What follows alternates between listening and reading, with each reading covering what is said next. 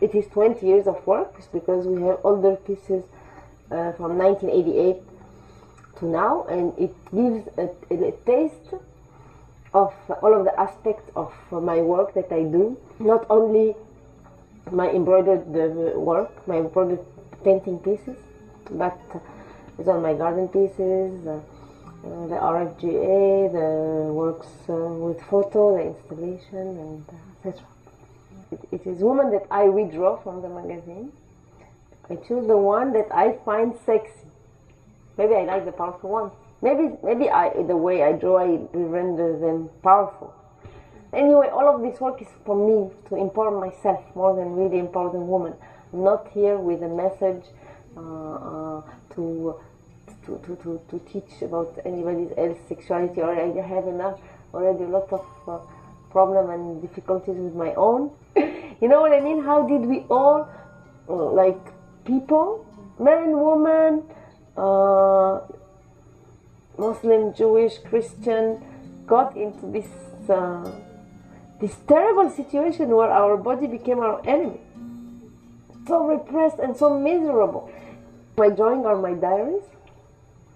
I don't know how to talk about them conceptually, like. Uh, yes, it's about princesses and fairy tales and um, love.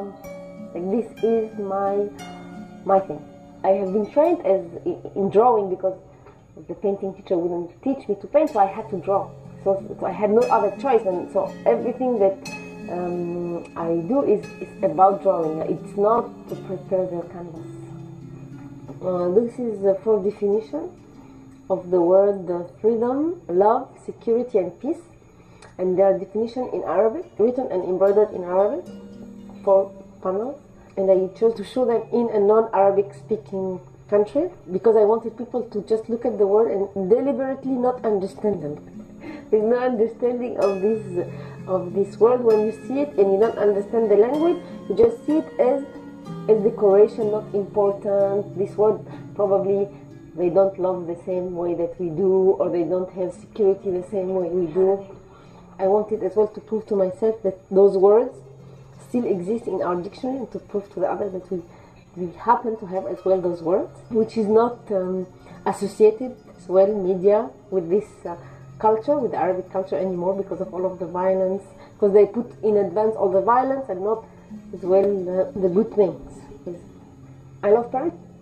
It's a collaboration between me and another artist uh, from Iran called, um, her name is Ladan Charot Naderi. I did this piece uh, in 91. It is during this period there was a lot of uh, terrorist attacks in France. Uh, it was clear that anything Muslim is scary, terrorist, it's not good to be like this, they have to look like us. The same discourse that now after uh, September 11 uh, you in America have. So we were thinking we don't we don't like that chador either or we don't like them we don't want to be forced to wear this. But as well, we don't want to force the other people to unwear. Everybody is, should be free, and everybody should respect this choice. We thought uh, that we wanted to, to, to, make this point. So we did this um, series of um, visiting Paris as if we were like uh, uh, tourists, and we just this is the way we, we have been brought up, and it was very badly received in Paris at the time. This is the ideal couple. It's kind of the skin that you want to go inside, as well as straight jackets. I uh, wrote Barbie loves Ken, Barbie Ken as a punishment. It's about a ridiculous couple that are a little bit um, mad, obsessed. Since uh, 2000, 2001, I uh, have a series that is labeled RFGA, and it's in the title and in the signature and the RFGA stands for Reza Farkhondeh Gadamer and it acknowledges all of the painting that uh, Reza Farkhondeh has collaborated in. He's another artist I, I met at school.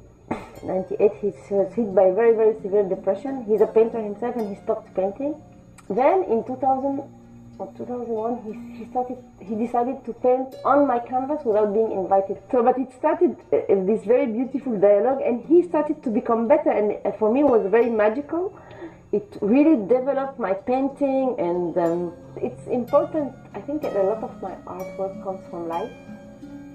It's experience. It's like things happen by accidents.